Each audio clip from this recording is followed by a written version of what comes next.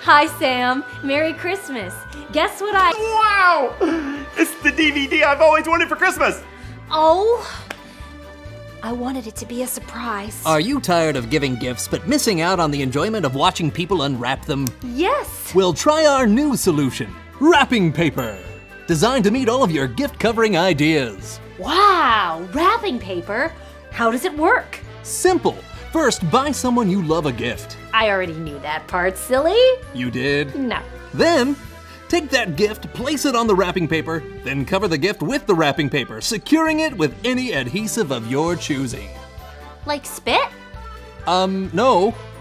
Now, can I use wrapping paper to wrap any sort of gift? Like a box of building bricks? Yes, and How about a football? sure. How about a ham?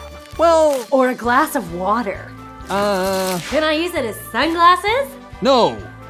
Oh! Can I use wrapping paper as a parachute? I'm flying! No. Can I use wrapping paper as an oven mitt? No. No. No! Wait! Oh, well, um, I guess it. No, no, a thousand times no! Wrapping paper is designed to wrap gifts, that's it! Oh! Well, that's great, I guess. Now, let's see how your gift to Sam would have looked had you used wrapping paper. Hey, Sam. Merry Christmas. Bet you can't guess what. Wow!